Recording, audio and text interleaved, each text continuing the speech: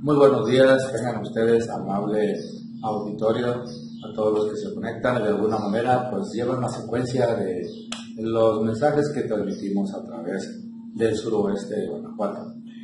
Un saludo a Camarillo y hoy traemos un tema de reflexión acerca de la familia de los hijos. Tiene el hijo el derecho de escoger de ser hombre o mujer.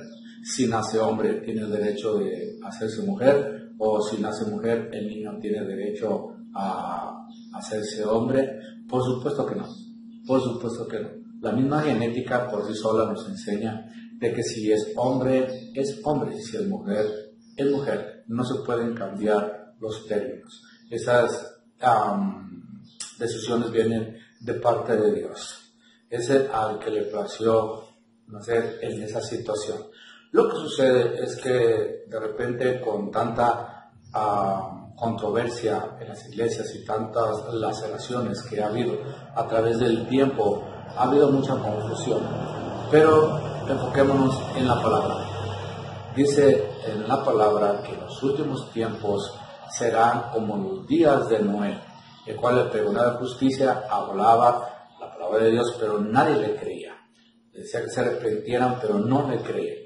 Y será como los tiempos de los, en los cuales se casaban, se divorciaban, se daban en casamiento, se volvían a casar y eran hombres con hombres, mujeres con mujeres, en una situación aberrante que hasta con los animales tenían sexo y era una cosa por la cual fue destruida. Y estamos viendo los tiempos apocalípticos. Estamos viviendo ahora, estamos viendo las alteraciones en cuestión de la genética y las cosas que la gente ha provocado. El gobierno autorice esas leyes. Ahora ya se pueden casar hombre con hombre o mujer con mujer y pueden formar una familia. Entonces, tengamos cuidado con nuestros hijos y defendamos los derechos porque pues prácticamente lo que están haciendo es que en las escuelas y el gobierno van a determinar a sus hijos que desde la infancia tengan el derecho de escoger su sexualidad. Vamos al buen camino. Preguntemos las sendas antiguas la antigua manera de vivir en Dios porque las situaciones cada vez están más difíciles. Bendiciones, agarrémonos del Señor y Dios bendiga sus hogares.